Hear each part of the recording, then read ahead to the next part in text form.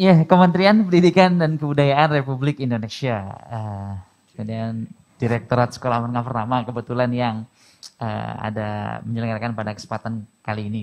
Ya. Dan pada kesempatan kali ini di kita dihadiri oleh dua uh, narasumber. Yang pertama ada uh, Bapak apa Mas nih? Saya nyebut Mas boleh atau boleh. Bapak? Uh, Mas Henry Eko dan satu lagi ini kayaknya disebutnya Mas juga ya Pak? Dede. Dede. Oh Dede. mas uh, Respati Hastomo. Oke. Okay. Iya. Amat. Amat. Jadi kesempatan kali ini kita kan sudah swab nih Pak. Hmm. Mas ya, kita udah swab terus juga udah vaksin izin saya ya, atau kita bisa kali. buka masker supaya ngobrolnya lebih enak kan kayaknya nggak apa-apa ya kalau udah udah ini boleh. Udah. ya. Uh, salam sehat. Yang pertama saya ucapin buat Mas Hendri sama Mas Tomo gitu kan. Salam sehat. Uh, pada kesempatan kali ini kita akan sedikit bincang-bincang nih Mas. Eh, bincang-bincang uh, untuk informasi buat kita semua gitu kan. Yang pertama mungkin sedikit apa ya mengupas gitu terkait uh, pengadaan barang dan jasa. Jadi kan kalau misalkan kita di sekolah gitu ya Pak, ada anggaran yang sudah turun dari kita pemerintah mungkin bos gitu misalkan. Yeah. Terus uh, sekolah itu akan uh, melakukan pembelanjaan atau membeli barang ataupun jasa. Nah itu boleh dong diceritain nih baik dari Mas uh, Hendri atau Mas, Mas Tomo silahkan. Baik, jadi uh, memang topik belanja sekolah ini menarik. Mungkin hmm. daripada kita kalau bahasa pengadaan kayak terlalu formal gitu. Oh, iya, belanja, belanja aja ya, belanja sekolah gitu ya. Memang belanja sekolah ini eh, hmm. sebelumnya karena sekolah ini SKPD, hmm. nah ini harus ikut aturan yang tinggi. Hmm. Itu Perpres. Tapi kalau ikut Perpres, kasihan sekolahnya. Hmm. Karena kan nggak ada, belum tentu mereka punya sertifikat pengadaan. Nah, hmm, ini supaya uh, sekolah-sekolah lebih sederhana belanjanya, hmm. prosesnya juga lebih sederhana, terus akhirnya Kemendikbud minta diskresi dari KPP. Dan kemarin udah dikasih tahun hmm. 2018. Hmm. Kemudian terakhir dikeluarkanlah pedoman pengadaan barang jasa untuk kesehatan pendidikan di tahun 2018 dan tahun 2019. Hmm. Jadi sekarang sekolah kalau belanja itu uh, lebih sederhana, hmm. tidak perlu uh, kompleks ya, nggak hmm. perlu ribet kayak yang di Perpres, tapi tinggal uh, kasarannya tinggal klik browsing-browsing di HP, hmm. masukin keranjang langsung uh, pesan. No, Jadi seperti gitu. zaman now gitu. Zaman now, oh iya, iya karena udah bahas-bahas zaman now ya Mas ya. Jadi kan memang zaman now ini sudah mulai uh, melek teknologi gitu yeah. ya, melek teknologi. Terus memang katanya di kita itu di dunia pendidikan gitu ada yang namanya suatu uh, aplikasi yang namakan sistem informasi uh, pengadaan sekolah uh, sekolah ya pak ya? Betul ya kalau salah. Pak izin hmm. koreksi kalau saya salah yeah. ya? Gitu. Nah ini ini boleh dong uh, dari mungkin mas uh, mas Tomo atau siapa yang bisa sedikit kasih gambaran nih mas. Gimana sih aplikasi ini tuh sebenarnya? Okay. seperti apa gitu? Ah, siplah ya berarti ya namanya singkatannya. Keren kan? Keren ya siplah gitu. Jadi memang tadi hmm. Mas Henry kan udah ngomong hmm. bahwa bahwa sebetulnya sekolah itu deng, me, apa, dapat melakukan pengadaan barang dan jasa mm-hmm. dengan cara mudah mm-hmm. itu kan ada permen ada permennya mm-hmm. ada permennya sehingga dari permen itulah akhirnya digagas dibuatlah suatu aplikasi mm-hmm. yang namanya tadi sistem penga, informasi pengadaan barang mm-hmm. dan jasa di sekolah di sekolah mm-hmm. gitu ya mm-hmm. nah uniknya lagi gitu ya, Sipla ini ketika dibuat pakai aturan, hmm. ketika dimanfaatkan juga pakai aturan. Uh, full, full, full aturan. aturan. Oh, Jadi rules. untuk memagari pengguna-pengguna yang nanti menggunakan Sipla itu merasa aman. Hmm. Karena dia dipagari oleh regulasi. Jadi ketika dia memanfaatkan, misalkan dana bos, misalkan hmm. ada juknis bos yang di sana sudah menyebutkan tata caranya untuk memanfaatkan dana bos dengan menggunakan siplah. Jadi artinya siplah itu selain dibikin dengan regulasi, hmm. dimanfaatkan juga regulasi. Begitu ya Pak ya. Mas Henry ya.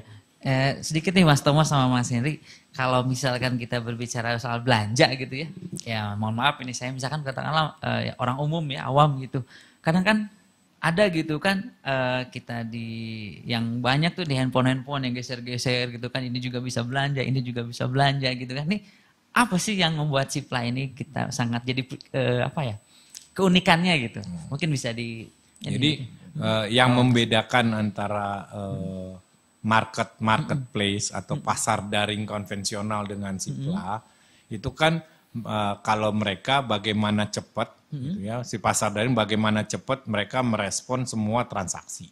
Mm-mm. Kalau yang konvensional. Siap. Jadi dia pesan pesan pesan masuk keranjang bayar kirim. Selesai gitu ya. Oh.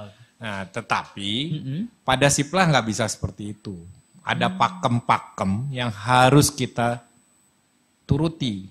Dari mulai pakem-pakem, dari mulai mereka melakukan perencanaan pengadaan, sampai mereka membayar, eh, memilih barang, kemudian penerima barang sampai membayarnya. Nah itu kan sangat berbeda. Langkah-langkah itu yang mungkin tidak ada di secara pasar konvensional. Yang kedua, sistem pembayarannya pun juga berbeda. Kalau cara pasar yang lama dia terima barang langsung bayar. Atau bayar dulu baru barang dikirim. Kalau ini enggak karena dana bos terutama ya karena dana bos kadang-kadang eh, transferannya suka mundur gitu waktunya. Sehingga di kita walaupun barang sudah diterima kita masih boleh mengajukan kayak waktu pembayarannya. Misalkan dua bulan lagi yuk kalau sudah cair dana bos tahap kedua atau ketiganya cair baru bisa dimanfaatkan. Jadi cukup banyak perbedaan antara yang pasar konvensional dengan pasar yang ada di Sipla. Oh, gitu ya. misal gini nih, eh, ya, nah, nanya lagi nih mas, misalkan saya orang awam gitu kan, kalau misalkan oh, mau belanja gitu kan, tapi wah di aplikasinya nggak ada nih, kan bingung tapi butuh gitu loh, wah adanya nggak ada di aplikasi. Itu Nah. Gimana tuh yang kayak gitu kayak gitu Henry nih, gantian. mas? Ya, Ah, Mas Henry. memang eh, paling banyak pertanyaan dari sekolah ke Ah. kami gitu Iya. ya. Pak kami mau belanja barangnya nggak ada gitu. Ah, gitu Atau kan. Pak mau kami mau belanja kok barangnya lebih mahal.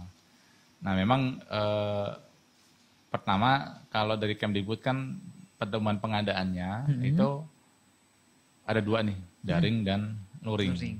Bisa belanja kalau belanja online wajib menggunakan Sipla. Mm-mm. Kalau dalam kondisi-kondisi tidak bisa belanja online, dia bisa secara luring. Nah, kalau eh, karena kita eranya semua teknologi, Mas Menteri juga kita tahu ya sama-sama ya eh, orangnya sangat teknologi banget, dan Pak Jokowi juga sebenarnya juga pokoknya eh, Indonesia harus berbasis teknologi, apalagi dengan era pandemi kan. Sekarang yang digitalnya Indonesia harusnya 2025 Dipaksa langsung dipaksa sekarang ya. Nah kalau kondisi barang tidak ada itu sebenarnya ada dua solusi ya. Solusi pertama saya yakin eh, para pengelola sekolah sudah punya langganan sebenarnya. Pasti sekolah punya langganan lah karena udah bertahun-tahun mengelola sekolah udah ada langganan-langganan. Nah langganan-langganan ini harus diomongin ke mereka bahwa kami sekarang eh, sudah diberikan pedoman oleh Kemdikbud Mm-mm. kalau belanja harus tercatat secara online. Harus tercatat secara online. Ya, itu melalui aplikasi Siplah kan, belanjanya kan.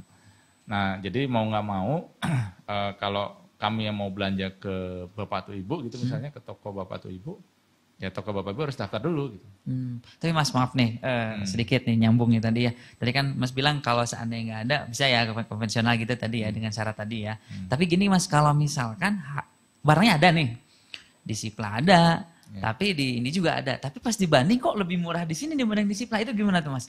Dari Nah, ini- dari SBM itu lebih murah katanya gitu, gimana Ya. tuh Mas? Ya ini kaitannya dengan kebijakannya. Artinya Ah, kalau iya. kebijakan pengadaan kan memang semuanya itu eh, harus elektronik sekarang ini. Eh, untuk pengadaan-pengadaan yang non elektronik ini malah yang menjadi apa ya eh, indikasi transparansi itu adanya semua harus elektronik. Karena dengan elektronik semua tercatat kapan belanja dengan siapa, eh, jam berapa kan. Historinya jelas gitu Historinya ya. jelas, Dari catatannya jelas. Bahkan kalau ada negosiasi ataupun ada barang yang nggak sesuai dibalikin lagi itu tercatat semua. gitu ya. Nah, sementara belanja luring itu tidak memiliki fasilitas-fasilitas itu.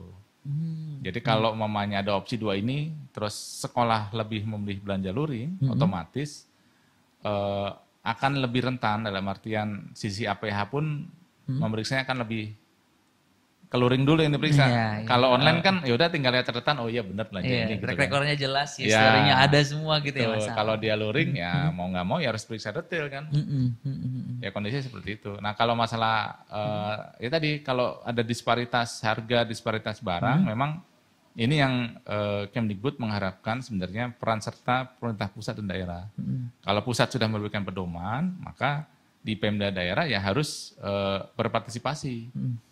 Eh, makanya kan kemarin Mas Menteri bulan Oktober 2020 itu ngeluarin surat edaran ke semua eh, pimpinan daerah, dari satu dari dua, gubernur, eh, wali kota, bupati, Hmm. supaya UMKM UMKM di masing-masing Pemda itu harus daftar sipla. Hmm. Sudah dikeluarkan edarannya, tinggal sekarang gimana Pemdanya harus eh, aktif partisipasi kan supaya ini kan juga supaya ekonomi di masing-masing wilayah kan lebih ini ya, lebih Meningkat terangkat ya. lagi kan. Tapi daftar itu nggak nggak ini kan Mas, nggak apa namanya itu nggak ada ruginya gitu. ya? Nggak ada. Nggak ada, kan? Nggak ada. Ini daftarnya gampang banget kayak Oh.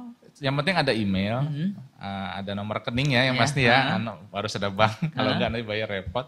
Hah? Kemudian nanti Ada email, isi Email. formulir. Nah, nanti Pak Astomo lebih bisa cerita mungkin formulirnya isinya apa aja coba. Oh mungkin. gitu. ya isi formulir gitu. Kemudian kan eh, untuk jadi penyedia di Sipla itu nggak harus berbadan hukum. Oh gitu. Tapi sebentar nih Mas, Tomo, kan sebelum, nggak sebelum harus berbadan Ah, hukum. Sebelum nyambung situ nih ya, eh, saya nih sebagai ya nggak tahu lah ibaratnya gitu kan. Kalau misalkan yang ada gitu kan, kalau mau belanja kan nggak nggak nggak nggak rumit ya, ibaratnya mendaftar ini ini selesai gitu. Eh, nah itu itu apakah sesimpel itu juga betul ya, simpel ya? Iya, ya. Hmm. Artinya eh, mungkin mungkin kita harus bedain dulu nih. Hmm, Kadang-kadang seorang suka keliru apa yang disebut pasar daring, apa yang disebut toko daring.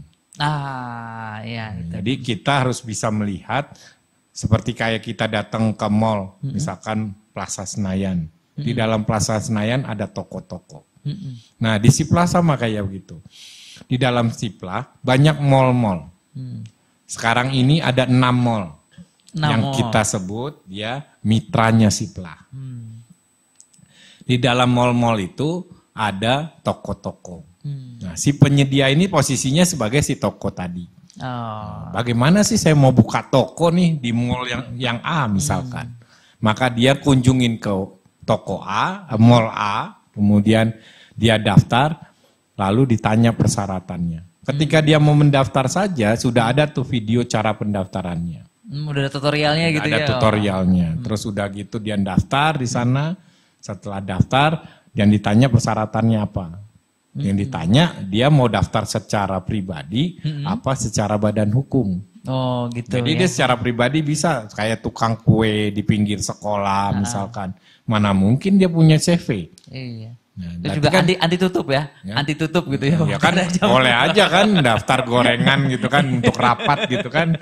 Misalkan Ya. itu misalkan saja. Artinya tidak menutup kemungkinan seorang yang tidak punya badan usaha itu ingin menjadi eh, penyedia di Sipla. Tidak mau tidak menutup kemungkinan.